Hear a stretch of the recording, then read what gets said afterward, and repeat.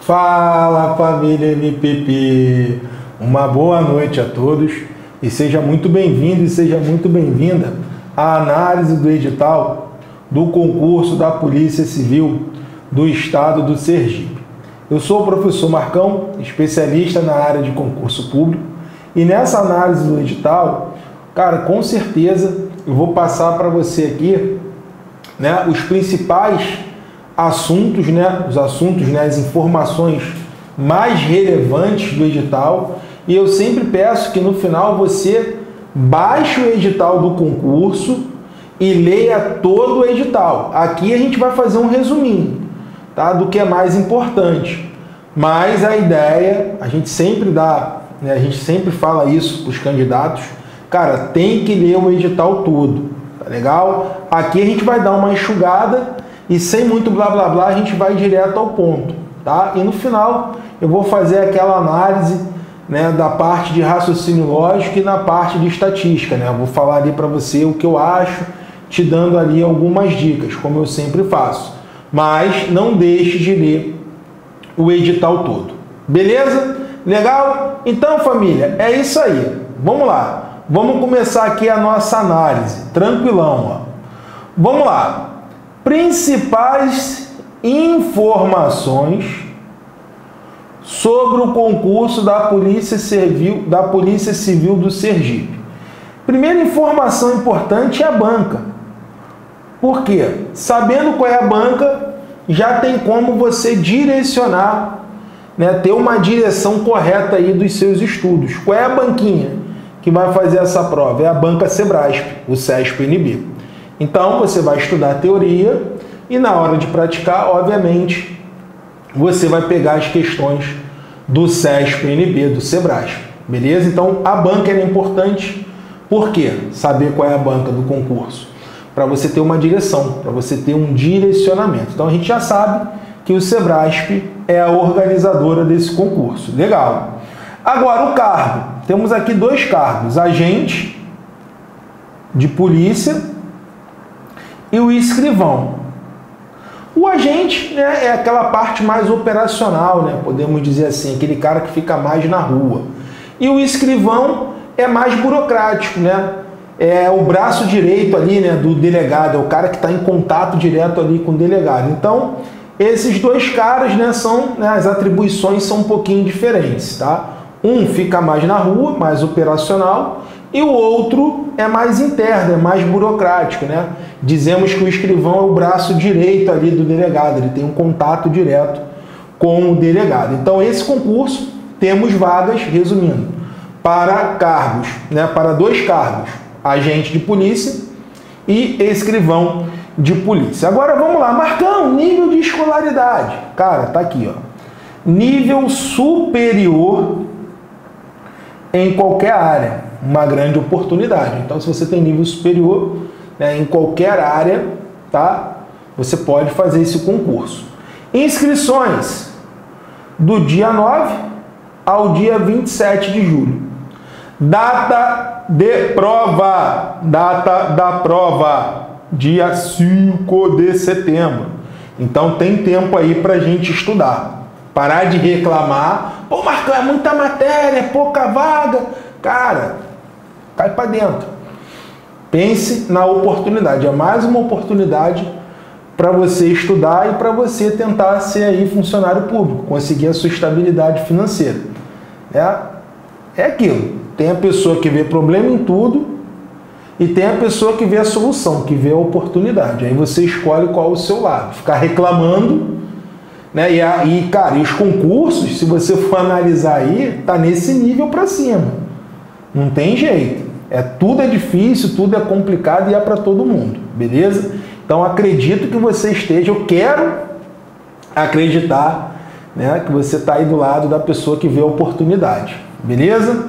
Vamos lá, taxa 150 reais é o valor aí da inscrição e o número de vagas 60 vagas, temos 50 para agente e 10 para escrivão, tá? Nesse quantitativo tem um pedacinho que é para negros e tem um pedacinho que é para o portador de deficiência. Mais para frente eu vou falar sobre isso, tá legal? Mas no geral é isso aí, 50 para gente e 10 para escrivão. Marcão, poucas vagas. Vamos lá. Último concurso, que foi de 2014, eu até anotei aqui, ó. Nesse concurso foram disponibilizadas 120 vagas. Cara, no final, sabe quantos foram chamados? Mais de 400. Então, se você for aprovado nesse concurso, né, pô, não estou dentro do número de vagas, foi aprovado, não estou dentro do número de vagas, estou ali no cadastro de reserva, sou excedente. Cara, tem grande chance de você ser chamado. Porque no concurso de 2014 eram 120 vagas e chamaram mais de 400. Então, com certeza, vai chamar mais de 60 pessoas. Com certeza. Tá legal? Então, fique tranquilo, porque geralmente concurso para área policial, né, carreiras policiais, cara, chama muito cadastro de reserva, chama muito excedente. Tá legal? Então, se você ficou aprovado ali, mas não ficou no, dentro do número de vagas, fique tranquilo que você vai ser chamado. Tá legal? Já é um hábito ali né, das instituições policiais chamar aí o excedente.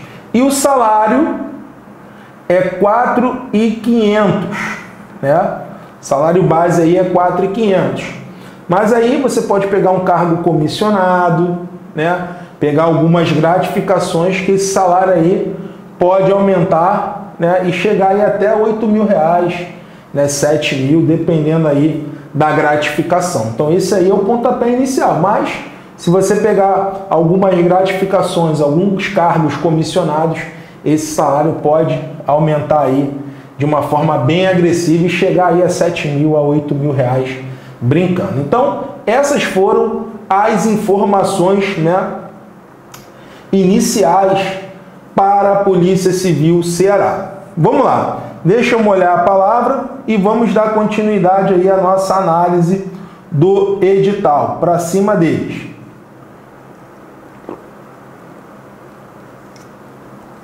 Deixa eu ver se está cortando alguma coisa, não. Agora vamos falar das provas objetivas. Olha aqui, já botei mastigadinho para você. Ó.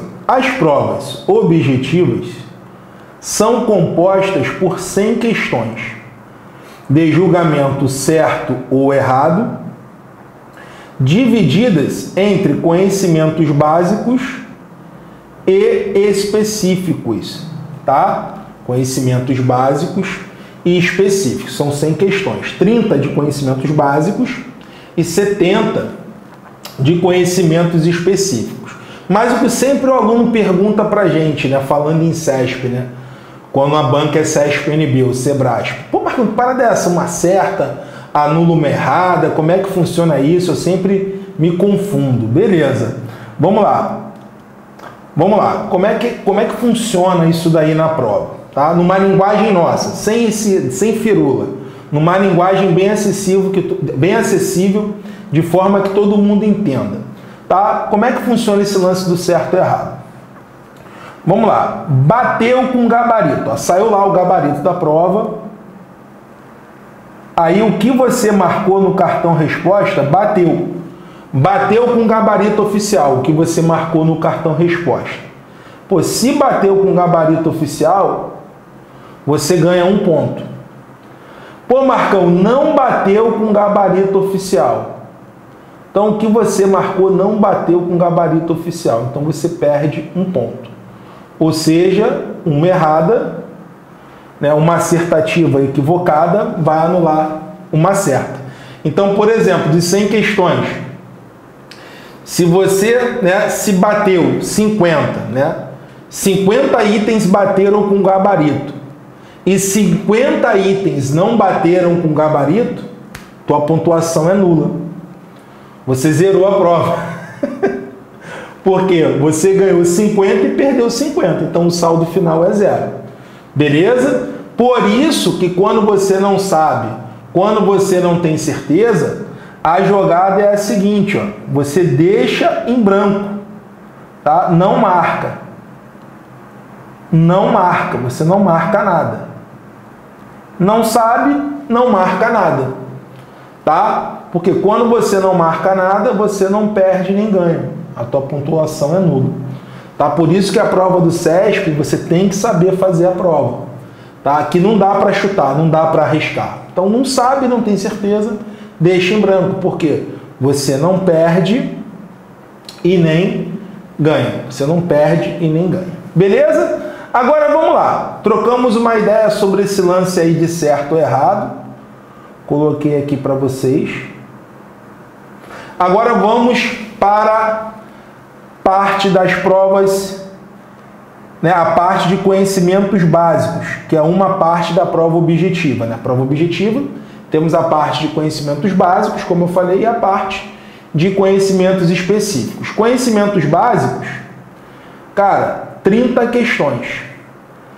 Quais as matérias? Temos aqui, ó, língua portuguesa, atualidades e conhecimentos do Estado de Sergipe, ética, direitos humanos e raciocínio lógico. Dessas matérias básicas, da parte de conhecimentos básicos, dá uma atenção maior à língua portuguesa e raciocínio lógico. Por que, que eu estou falando dessas duas matérias? É porque é que tem mais importância ali. Tá? Com certeza é que tem mais importância e a que com certeza vai ter mais questões. Por que, que eu estou falando isso? Na prova da Polícia Federal, trabalho com fatos, né? Prova da Polícia Federal, a última provazinha que teve, né? Porque o edital de raciocínio lógico é o mesmo da PF. Por isso que eu estou tendo a PF como referência. Na provinha da PF foram 12 questões de raciocínio lógico e 12 questões de estatística. Por isso que eu marquei ali raciocínio lógico, para você dar uma atenção. Por quê? Vai cair várias questões. Pode ter certeza disso. Tá? Pode ter certeza disso. Então, dessa parte de conhecimentos básicos, dê uma atenção maior à língua portuguesa e raciocínio lógico. Legal? Quem avisa, amigo é.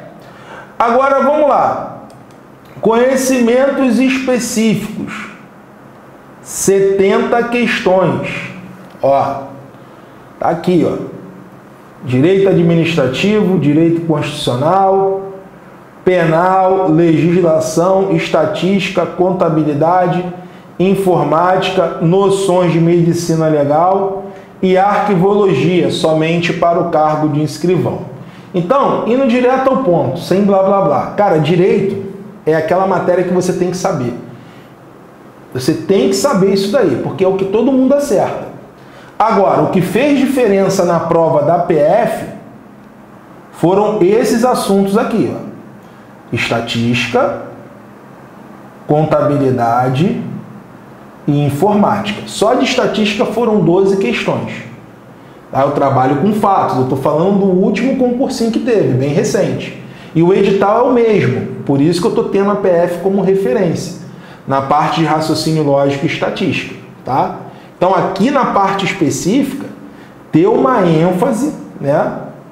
olhe com bastante carinho para esses três, né? para essas três disciplinas: estatística, contabilidade informática.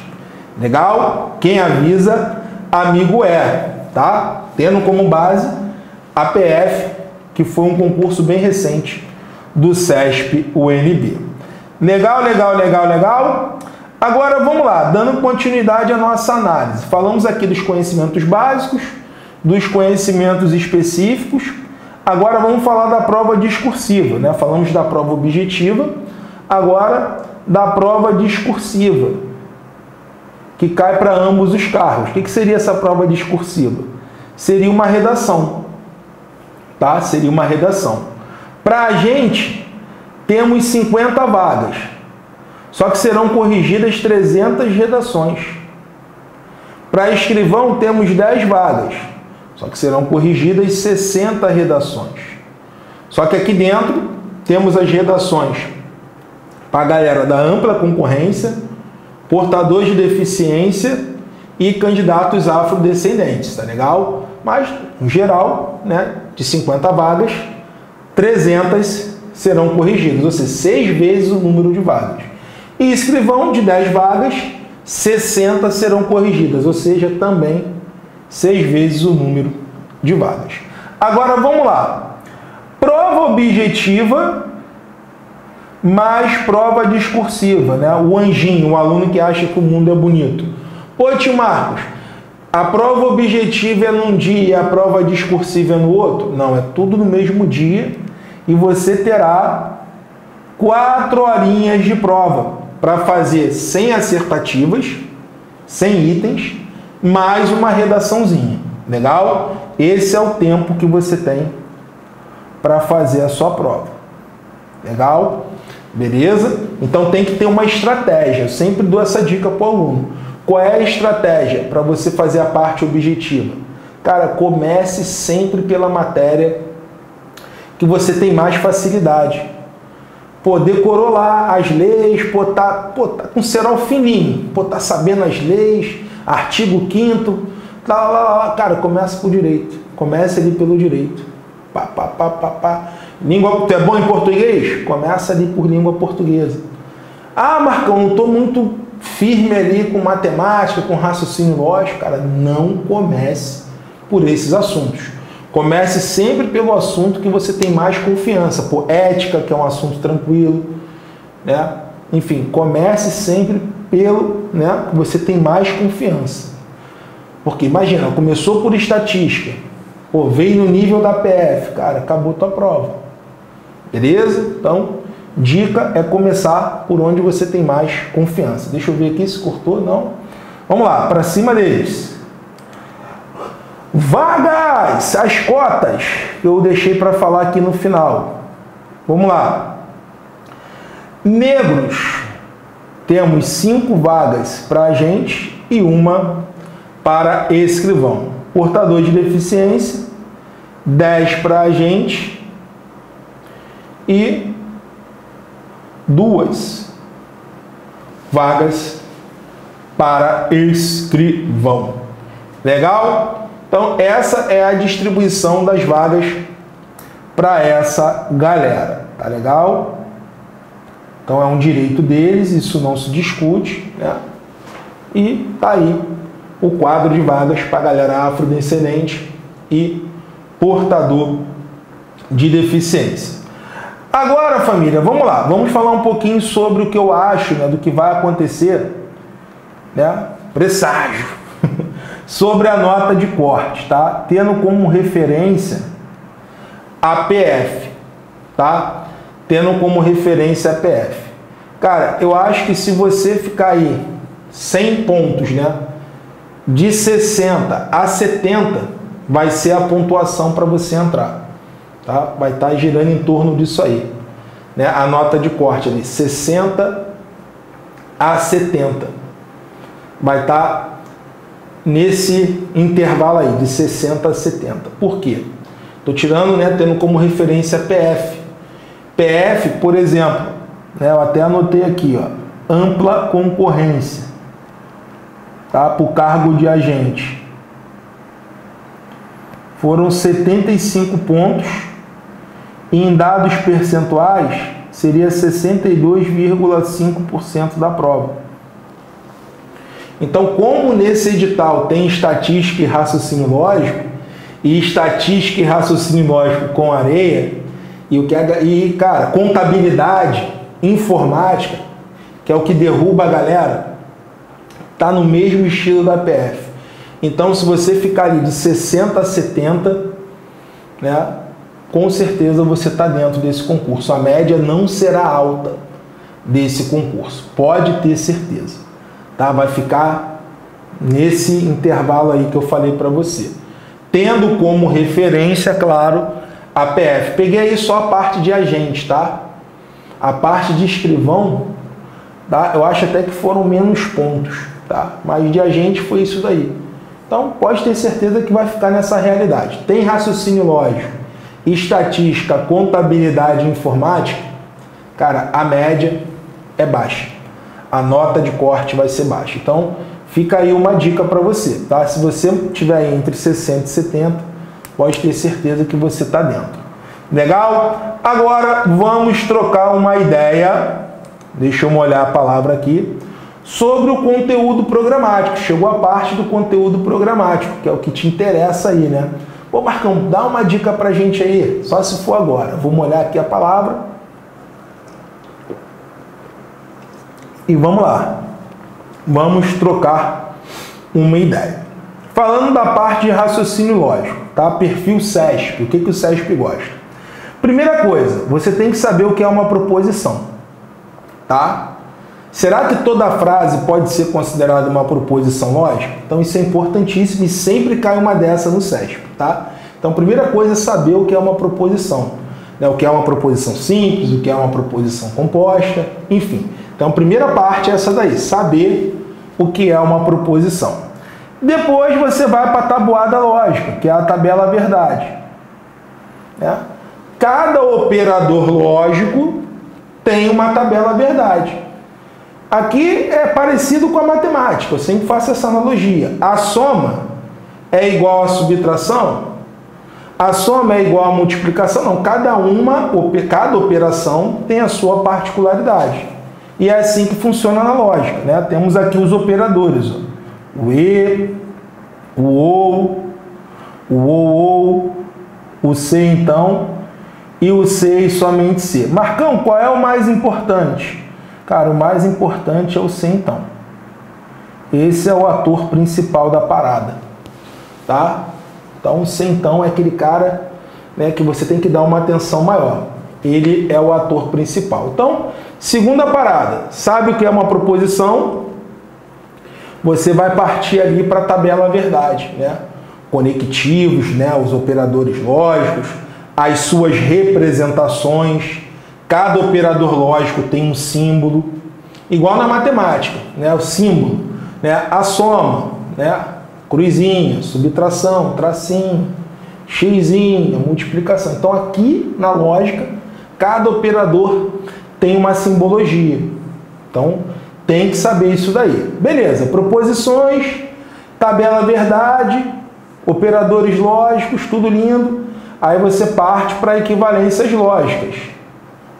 Qual é a principal equivalência lógica? É a equivalência do então. Né? É a equivalência do então. Essa é a principal. É a equivalência do C então. Existem inúmeras equivalências, né? Só que essa é a principal, é a equivalência do C então. E na parte de tabuada lógica, também é importante você saber né, ali da tabela verdade, o que é uma tautologia, já é até esquecendo dessa parte, né? Ó, saber diferenciar, né? Tautologia, isso aqui também é importante. Contradição, isso sempre cai, tá? Isso você vai aprender ali na parte de tabela é, de tabuada lógica, de tabela verdade, né? Diferenciar uma tautologia de uma contradição. Então isso daí também é importante. Beleza. Passou ali pela equivalência, vamos para as negações lógicas. Nas negações lógicas, você vai lembrar das leis de Morgan.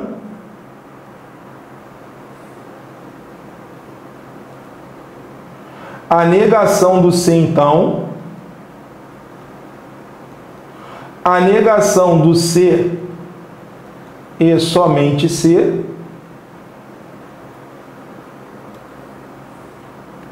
a negação do C e somente C, e a negação dos quantificadores, dos quantificadores lógicos. Quem seriam os quantificadores lógicos? O todo e o algum. Você tem que saber a negação desses caras, tá? Do todo e do algum, que são os quantificadores lógicos, tá? E o nenhum, né? Todo, algum e nenhum. Você tem que saber a negação desses caras. Legal? Da negação, a tal da lógica de primeira ordem. O que seria a lógica de primeira ordem? Que o aluno tem muita dúvida. Lógica de primeira ordem são os quantificadores. Acabei de falar aqui na parte de cima. Né? Quais seriam os quantificadores? Todo, algum e o nenhum. Então, tudo relacionado a esses caras é lógica de primeira ordem, tá? Legal? Tudo relacionado a esses caras é lógica de primeira ordem. Argumentação, isso é tema certo na prova do SESP. Só que a forma de se resolver esses probleminhas de argumentação é diferente, tá? Você vai resolver questões CESPianas, tá? Você vai aplicar o método da conclusão falsa, que você só aprende aqui no matemática para passar, é o filé. Né? Então, tem um método para resolver essas questões CESPianas de uma forma bem prática, bem objetiva, que você aprende aqui no matemática para passar. Só aqui você aprende o método da conclusão falsa. Com certeza esse assunto vai cair na tua prova.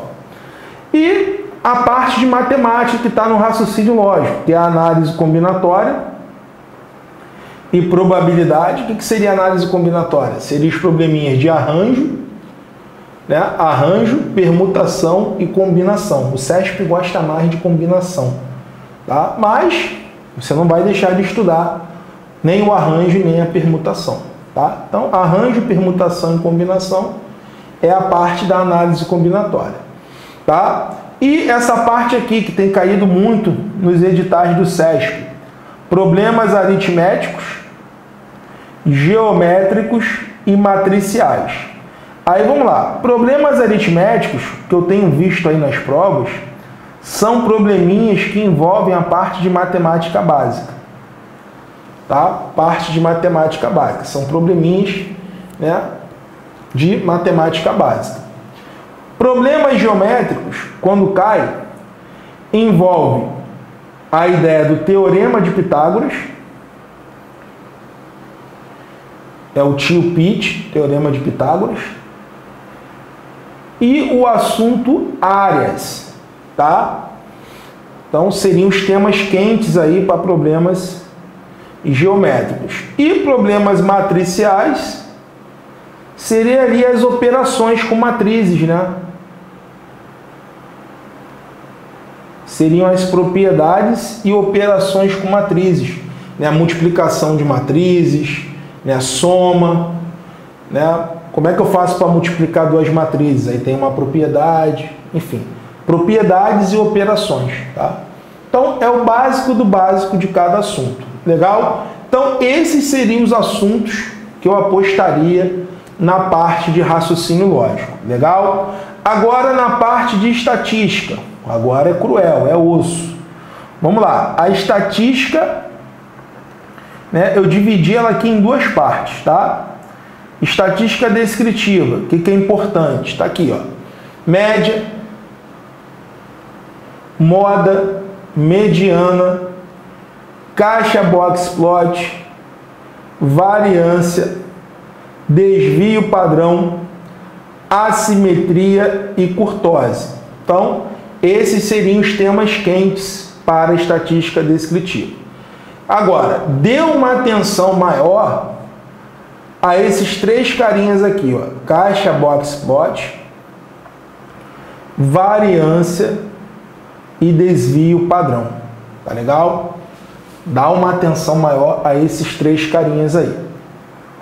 Saiu da descritiva, vamos para a estatística inferencial. Primeiro passo é você saber os conceitos, né?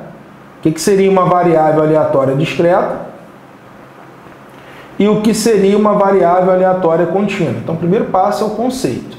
Depois, você vai passar para o cálculo da esperança matemática.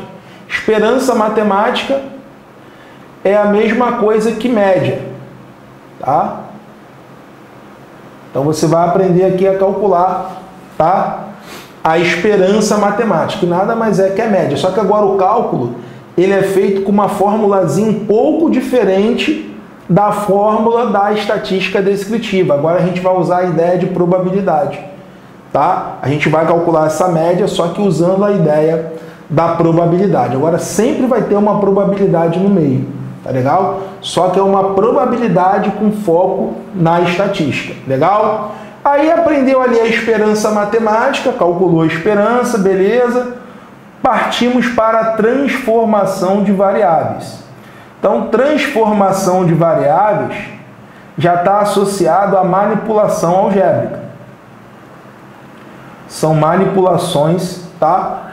algébricas. Tá legal? Você vai aprender a fazer ali algumas manipulações algébricas para facilitar a continha, tá? Continha com variância, com média, né? Enfim, você vai aprender a fazer algumas malandragens, algumas manipulações que vai ajudar na hora da conta. Beleza? Da transformação de variáveis, que é importante, aí vem o tema quente. Vem aquele tema, né, mais que, cara, sei lá, ultra quente, vamos dizer assim, ultra, vulcão, tema vulcão. Cara, que caiu na prova da PF e surpreendeu todo mundo. É essa partezinha aqui, ó.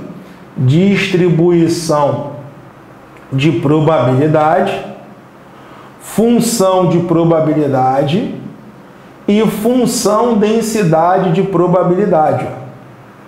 Todos, né, tema quente, é todo mundo. Isso aí é o tema vulcão, vamos dizer assim porque é uma nova vertente aí que se abriu com essa prova da PF. Então é aquele assunto que você tem que dar uma atenção, cara, extrema, porque ali você vai aprender a fazer integral, você vai ter que saber fazer integral, entendeu? Vai ter que ter uma noçãozinha ali de cálculo, mas também não é isso tudo que estão falando aí não, tá? Você vai aprender o necessário para resolver esse tipo de questão. Tudo isso a gente mostra lá no nosso curso. Tá? Nós ensinamos essa parte lá no nosso curso. Daqui a pouco eu vou né, trocar uma ideia com você. Tá? Eu vou falar do que nós oferecemos no curso e com certeza com o nosso curso você vai aprender isso daí.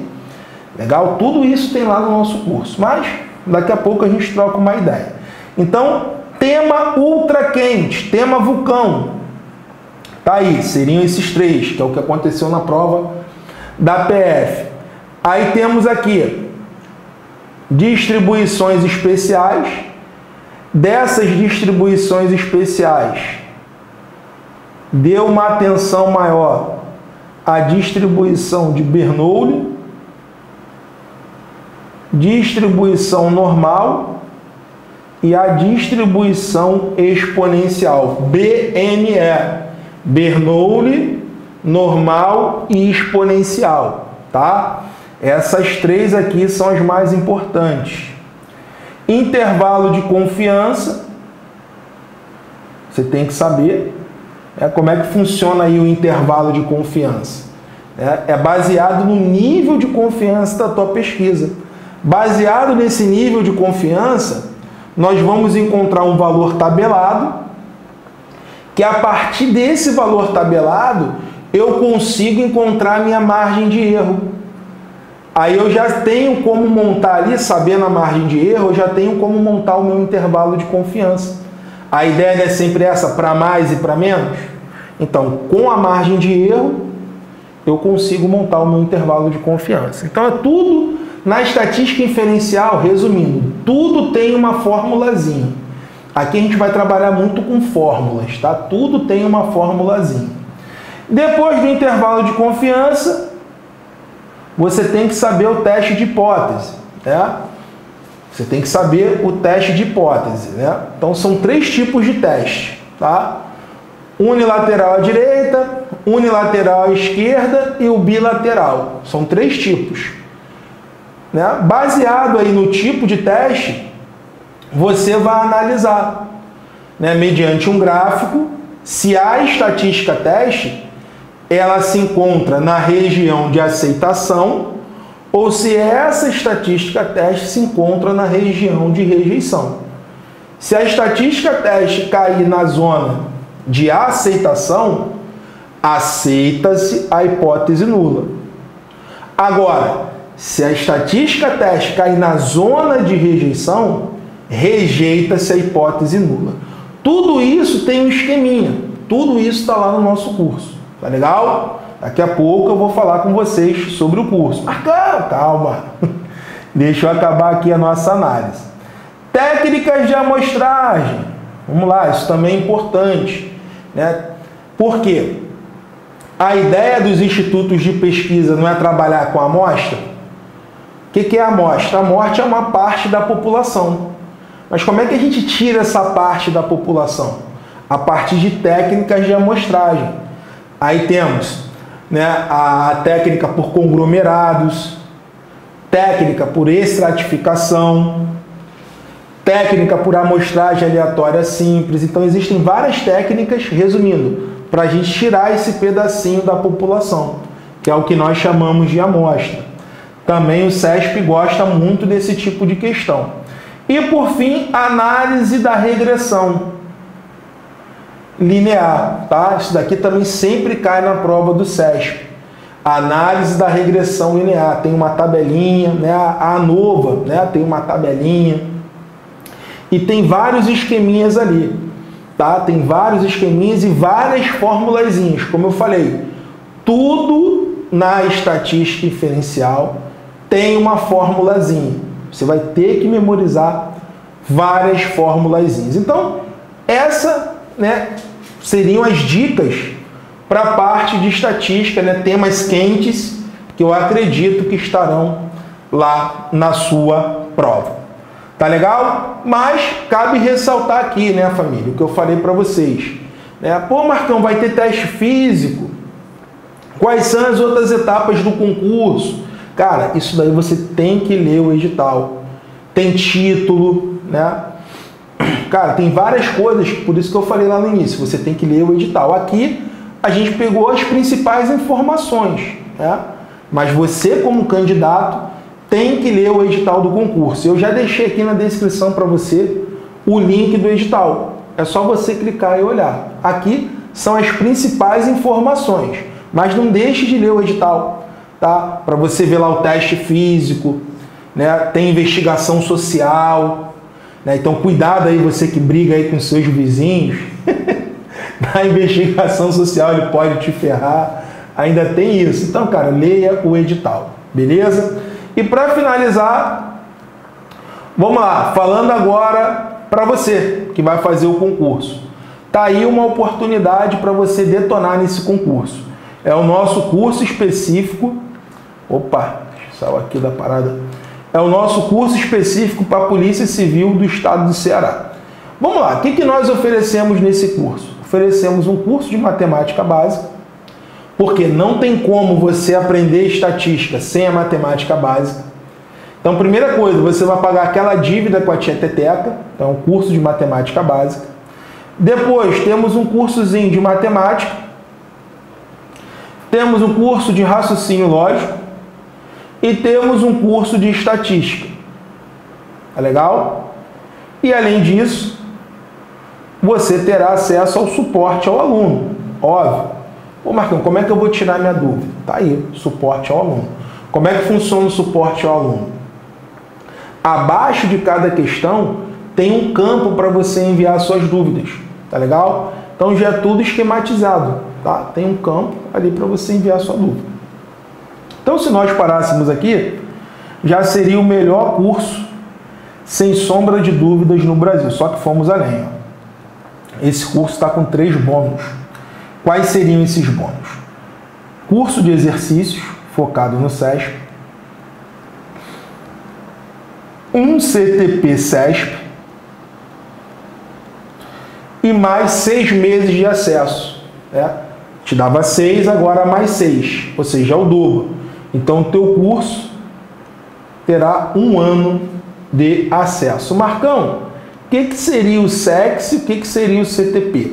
O SEX é o curso de exercícios, né? Só que o SEX, qual é a diferença para o CTP? Que o SESP, ele é separado por assunto. Então você vai ter questões de equivalência, negações, argumentação, tudo separadinho, né, por assunto. Já o CTP é a prova na íntegra. Nós resolvemos a prova na íntegra para você.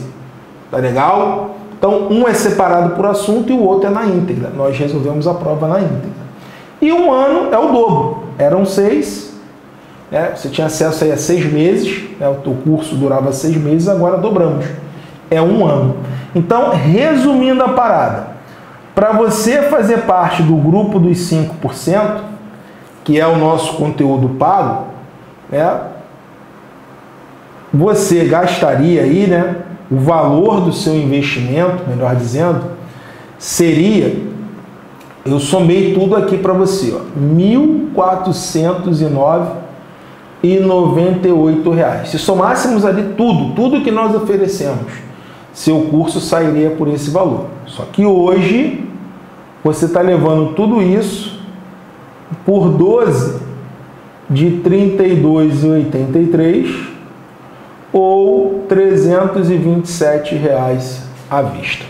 Tá legal? Então, nosso curso é sério, focado no Sebrasp, estatística, o curso é completo, tem essa parte de integral, tá lá no nosso curso, tá legal?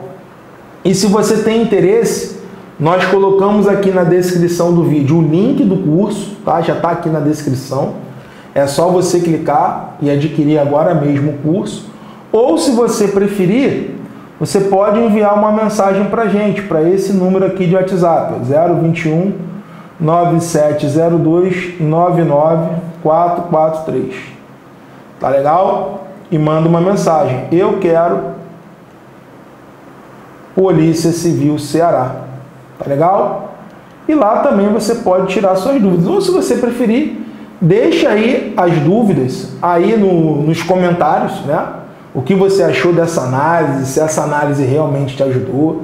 E coloca aí, pô, Marcão, né? quero saber isso, quero saber. Cara, coloca aí nos comentários e a gente vai te responder. Legal? Tá aí a oportunidade. Espero de coração ter te ajudado. Cara, olha o edital todo. Aqui foram os principais. Tá? Dá uma olhada no edital, né?